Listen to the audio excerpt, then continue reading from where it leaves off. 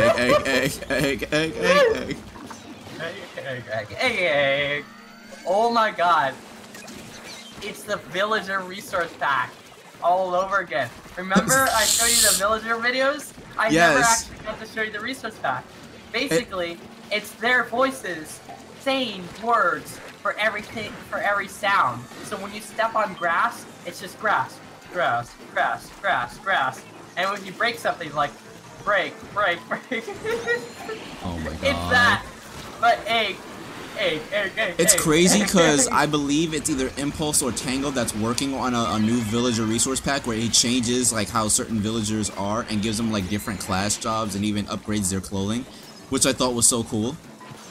Oh my. Oh. Oh my god! My ears, that deserves a replay.